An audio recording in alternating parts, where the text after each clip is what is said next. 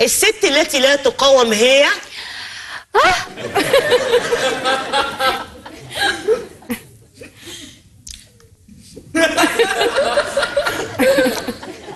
خلاص يا ماما. عشان دي بعافيه الست التي لا تقاوم هي؟ دي مجنونة. الست التي لا تقاوم هي؟